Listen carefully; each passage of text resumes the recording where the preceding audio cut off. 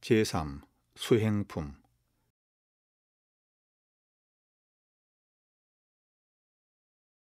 17. 양도신이 여쭙기를 대종사께 없어 평시에 말씀하시기를 이 일을 할 때 저 일에 끌리지 아니하며 저 일을 할 때 이 일에 끌리지 아니하고 언제든지 하는 그 일에 마음이 편안하고 온전해야 된다 하시므로 저희들도 그와 같이 하기로 노력하옵던 바. 제가 이 점에 바느질을 하면서 약을 다리게 되었사온데 온 정신을 바느질 하는 데 두었삽다가 약을 태워버린 일이 있사오니 바느질을 하면서 약을 살피기로 하오면 이 일을 하면서 저 일에 끌리는 바가 될 것이 없고 바늘질만 하고 약을 불구하오면 약을 또 버리게 될 것이오니 이런 경우에 어떻게 하는 것이 공부에 옳은 길이 되나이까? 대종사 말씀하시기를 네가 그때 약을 다리고 바느질을 하게 되었으면 그 두 가지 일이 그때 네 책임이니 성심성의를 다하여 그 책임을 잘 지키는 것이 완전한 일심이요 참다운 공부니 그 한 가지에만 정신이 뽑혀서 실수가 있었다면 그것은 뚜렷한 일심이 아니라 조각의 마음이며 부주의한 일이라. 그러므로 열 가지 일을 살피나 스무 가지 일을 살피나 자기의 책임 범위에서만 할 것 같으면 그것은 방심이 아니고 온전한 마음이며 동할 때 공부에 요긴한 방법이니라. 다만 내가 아니 생각하여도 될 일을 공연히 생각하고 내가 안 들어도 좋을 일을 공연히 들으려 하고 내가 안 보아도 좋을 일을 공연히 보려 하고 내가 안 간섭하여도 좋을 일을 공연히 간섭하여 이 일을 할 때에는 정신이 저 일로 가고 저 일을 할 때에는 정신이 이 일로 와서 부질없는 망상이 조금도 쉴 사이 없는 것이 비로소 공부인의 크게 꺼릴 바이라. 자기의 책임만 가지고 이 일을 살피고 저 일을 살피는 것은 비록 하루에 백천만 건을 아울러 나간다 할지라도 일심 공부하는 데에는 하등의 방해가 없나니라. 18. 대종사 말씀하시기를 그대들이 일심 공부를 하는데 그 마음이 번거하기도 하고 편안하기도 하는 원인을 아는가? 그것은 곧 일 있을 때 모든 일을 정당하게 행하고 못하는 데 원인이 있나니 정당한 일을 행하는 사람은 처음에는 혹 복잡하고 어려운 일이 많은 것 같으나 행할수록 심신이 점점 너그럽고 편안해져서 그 앞길이 크게 열리는 동시에 일심이 잘 될 것이요. 부정당한 일을 행하는 사람은 처음에는 혹 재미있고 쉬운 것 같으나 행할수록 심신이 차차 복잡하고 괴로워져서 그 앞길이 막히게 되는 동시에 일심이 잘 되지 않나니 그러므로 오롯한 일심 공부를 하고자 하면 먼저 부당한 우원을 제거하고 부당한 행을 그쳐야 하나니라. 19. 대종사 이순손에게 물으시기를 그대는 제가 공부를 어떻게 하는가? 순순히 사르기를 마음 안정하기를 주장하나이다. 또 물으시기를 어떠한 방법으로 안정을 주장하는가? 순순히 사르기를 그저 안정하고자 할 따름이 없고 특별한 방법을 알지 못하나이다. 대종사 말씀하시기를 무르 사람에게는 항상 동과 정 두 때가 있고 정정을 얻는 법도 외정정과 내정정의 두 가지 길이 있나니 외정정은 동하는 경계를 당할 때 반드시 대의를 세우고 취사를 먼저 하여 망령되고 번거한 일을 짓지 아니하는 것으로 정신을 요란하게 하는 마의 근원을 없이 하는 것이요. 내정정은 일이 없을 때에 염불과 좌선도 하며 기타 무슨 방법으로든지 일어나는 번뇌를 잠재우는 것으로 온전한 근본 정신을 양성하는 것이니 외정정은 내정정의 근본이 되고 내정정은 외정정의 근본이 되어 내와 외를 아울러 진행하여야만 참다운 마음의 안정을 얻게 되리라. 20. 송도성이 신문을 애독하여 신문을 받으면 보던 사무라도 그치고 읽으며 급한 일이 있을 때는 기사의 제목이라도 본 후에야 안심하고 사무에 착수하더니 대종사 하루는 경계하시기를 네가 소소한 신문 하나 보는데 그와 같이 정신을 빼앗기니 다른 일에도 혹 그럴까 근심되노라.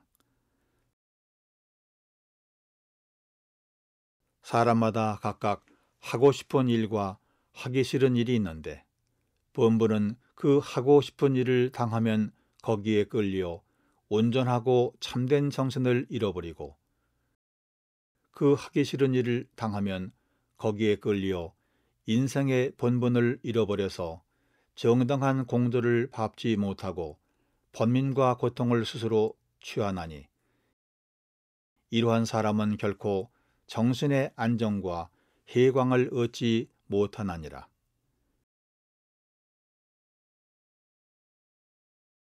내가 이러한 작은 일에 너를 경계하는 것은 너에게 정신이 끌리는 실상을 잡아 보이는 것이니 너는 마땅히 그 하고 싶은 데도 끌리지 말고 하기 싫은 데도 끌리지 말고 항상 정당한 도리만 밟아 행하여 능히 천만 경계를 응용하는 사람은 될지언정 천만 경계에 끌려 다니는 사람은 되지 말라. 그러하면 영혼이 너의 참되고 떳떳한 본성을 여의지 아니하리라. 20일 이 청춘이 여쭙기를 큰 도인도 애착심이 있나이까? 대종사 말씀하시기를 애착심이 있으면 도인은 아니니라. 청춘이 여쭙기를 정산도 자녀를 사랑하오니 그것은 애착심이 아니오니까.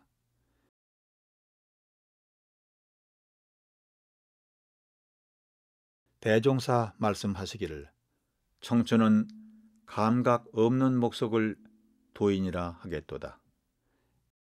애착이라 하는 것은 사랑에 끌려 서로 멀리 떠나지를 못한다든지 갈려 있을 때 보고 싶은 생각이 나서 자신 수도나 공사에 지장이 있게 됨을 이름이니 그는 그러한 일이 없나니라.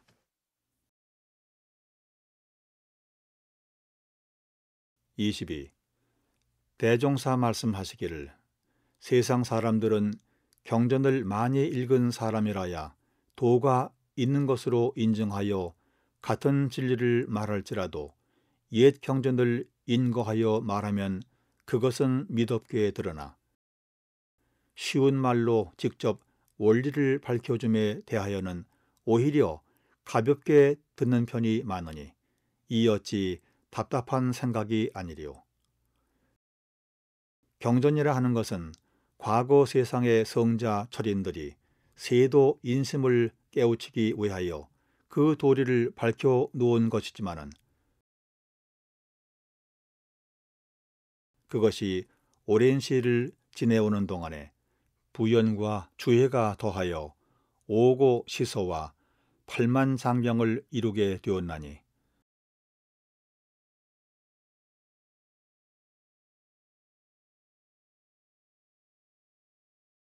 그것을 다 보기로 하면 평생 정력을 다하여도 어려운 바라 어느 겨를에 수양 연구 취사의 실력을 얻어 출중 초범한 큰 인격자가 되리요.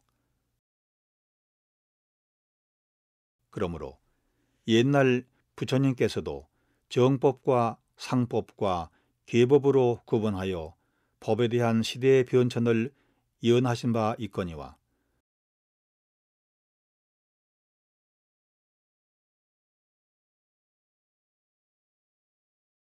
그 변천되는 주요 원인은 이 경전이 번거하여 후래 중생이 각자의 힘을 잃게 되고 자력을 잃은 데 따라 그 행동이 어리석어져서 정법이 자연 쇠하게 되는지라. 그러므로 다시 정법 시대가 오면 새로이 간단한 교리와 편리한 방법으로 모든 사람을 실제로 훈련하여 구전 심수의 정법 아래 사람 사람이 그 대도를 체험하고 깨치도록 하나니 오고 시선은 다 배워 무엇하며 팔만 장경은 다 읽고 무엇하리요. 그대들은 삼가 많고 번거한 옛 경전들의 정신을 빼앗기지 말고 마땅히 간단한 교리와 편리한 방법으로 부지런히 공부하여 뛰어난 역량을 얻은 후에 저 옛 경전과 모든 학설은 참고로 한 번 가져다 보라. 그러하면 그때에는 10년의 독서보다 하루아침에 참고가 더 나으리라.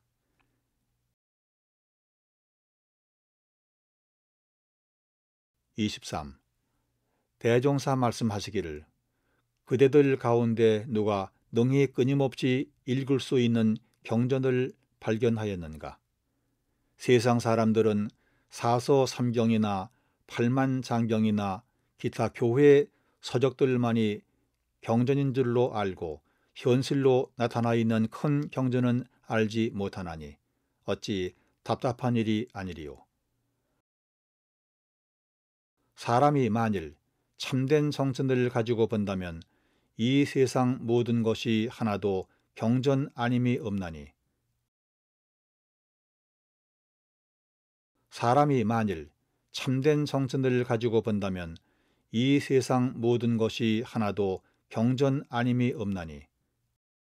눈을 뜨면 곧 경전을 볼 것이요 귀를 기울이면 곧 경전을 들을 것이요 말을 하면 곧 경전을 읽을 것이요 동하면 곧 경전을 활용하여 언제 어디서나 조금도 끊임없이 경전이 전개되나니라. 무릇 경전이라 하는 것은 일과 이치의 두 가지를 밝혀 놓은 것이니 일에는 시비 이해를 분석하고 이치에는 대소 유무를 밝히어 우리 인생으로 하여금 방향을 정하고 인도를 밟도록 인도하는 것이라. 유교 불교의 모든 경전과 다른 교회의 모든 글들을 통하여 본다 하여도 다 여기에 벗어남이 없으리라. 그러나 일과 이치가 글에 있는 것이 아니라 세상 전체가 곧 일과 이치 그것이니 우리 인생은 일과 이치 가운데 나서 일과 이치 가운데 살다가 일과 이치 가운데 죽고 다시 일과 이치 가운데 나는 것이므로 일과 이치는 인생이 여의지 못할 깊은 관계가 있는 것이며 세상은 일과 이치를 그대로 펴 놓은 경전이라. 우리는 이 경전 가운데 시비선하게 많은 일들을 잘 보아서 옳고 이로운 일을 취하여 행하고 그르고 해될 일은 놓으며 또는 대소 유무의 모든 이치를 잘 보아서 그 근본에 깨침이 있어야 할 것이니 그런다면 이것이 산 경전이 아니고 무엇이리요? 그러므로 나는 그대들에게 많고 번거한 모든 경전을 읽기 전에 먼저 이 현실로 나타나 있는 큰 경전을 잘 읽도록 부탁하노라. 24. 한 제자 요첩기를 저는 늘 사물에 민첩하지 못하오니 어찌하면 사물에 밝아질 수 있사오리까. 대종사 말씀하시기를 일을 당하기 전에는 미리 연모하고 일을 당하여서는 잘 취사하고 일을 지낸 뒤에는 다시 대조하는 공부를 부지런히 하며 비록 다른 사람의 일이라도 마음 가운데 매양 반조하는 공부를 잘하면 점점 사물에 능숙하여져서 모든 응용에 걸리고 막히지 아니하리라. 25. 대종사 예후에서 대종에게 말씀하시기를 그대들이 법설이나 강연을 들을 때에는 반드시 큰 보화나 얻을 듯이 정신을 고누고 들어야 할 것이니 법서나 강사가 아무리 유익한 말을 한다 하더라도 듣는 사람이 요령을 잡지 못하고 보면이 듣는다면 그 말이 다 실지 효과를 얻지 못하나니라. 그러므로 무슨 말을 듣든지 내 공부와 내 경계에 대조하여 온전한 정신으로 마음에 새겨 듣는다면 그 얻음이 많아지는 동시에 실지 행사의 자연 반조가 되어 예회의 공덕이 더욱 드러나게 되리라. 26. 대종사, 복례정사의 계시사 등잔불을 가리키시며 말씀하시기를 저 등잔불이 그 광명은 사면을 다 밝히는데 어찌하여 제 밑은 저같이 어두운고 김남천이 사르기를 이는 실로 저와 같사오니 저는 대종사의 문화에 직접 시봉하온 지 벌써 여러 해가 되었사오나 모든 일에 아는 것과 행하는 것이 멀리서 내왕하는 형제들만 같지 못하나이다.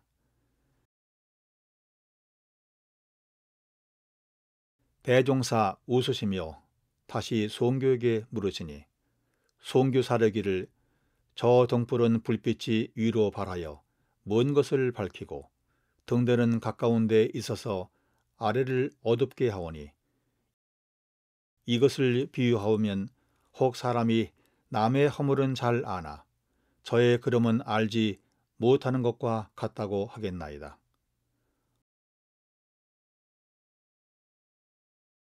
어찌하여 그런가 하면 사람이 남의 일을 볼 때는 아무것도 거리낌이 없으므로 그 장단과 고절을 바로 비춰 볼 수 있사오나 제가 저를 볼 때는 항상 나라는 상이 가운데 있어서 그 그림자가 지혜의 광명을 덮으므로 그 시비를 제대로 알지 못하나이다. 대종사 말씀하시기를 그렇게 원만하지 못한 사람이 자타 없이 밝히기로 하면 어찌 하여야 될꼬. 송규 사르기를 희노 애락에 편착하지 아니하며 마음 가운데 모든 상을 끊어 없으면 그 아는 것이 자타가 없겠나이다. 대종사 말씀하시기를 그대의 말이 옳다. 27. 대종사 말씀하시기를 그대들이 원만한 사람에 되어 넓은 지견을 얻고자 하면 반드시 한편에 집착하지 말라. 지금 세상의 모든 사람들이 거의 다 각각 한편에 집착하여 원만한 도를 이루지 못하나니 선비는 육아의 습관에 승려는 불가의 습관에 그 외에 다른 종교나 사회의 사업가들은 또한 다 각각 자기의 아는 바와 하는 바에 편착하여 시비 이해를 널리 알지 못하고 다른 사람의 법을 취하여 쓸 줄 모르므로 원만한 사람을 이루지 못하나니라. 한 제자 여쭙기를 만일 자가의 전통과 주장을 벗어난다면 혹 주견을 잃지 않겠나이까? 대종사 말씀하시기를 이 말은 자가의 주견을 잃고 모든 법을 함부로 쓰라는 것이 아니라 정당한 주견을 세운 후에 다른 법을 널리 응용하라는 것이니 이 뜻을 또한 잘 알아야 하나니라.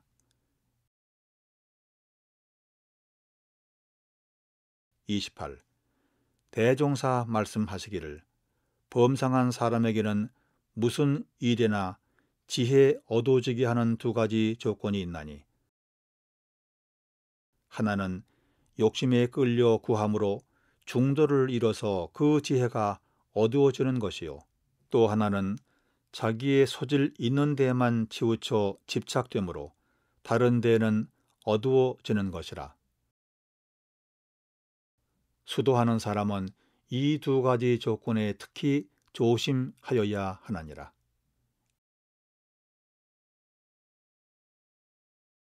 이십고 동학의 한 교인이 와서 배웠고 말하기를 제가 선생의 고명을 듣고 멀리 왔사오니 길이 애호하여 주소서.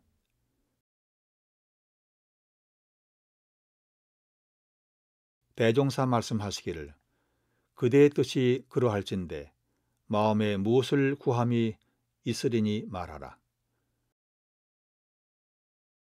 그 사람이 사르기를 어찌하면 지식이 넓어지오리까?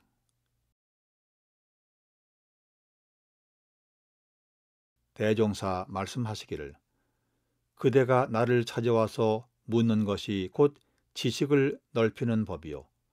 나는 그대를 대하여 그대의 말을 듣는 것이 또한 지식을 넓히는 법이라.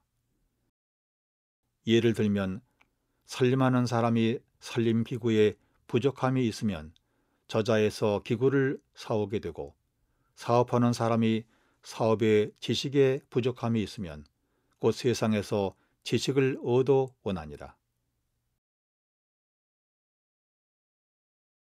그러므로 나는 무슨 일이든지 나 혼자 연구하여서만 아는 것이 아니요 여러 사람을 응대할 때 거기서 지식을 취하여 쓰노니. 그대를 대할 때에는 동학의 지식을 얻게 되고 또 다른 교인을 대할 때는 그 교의 지식을 얻게 되노라.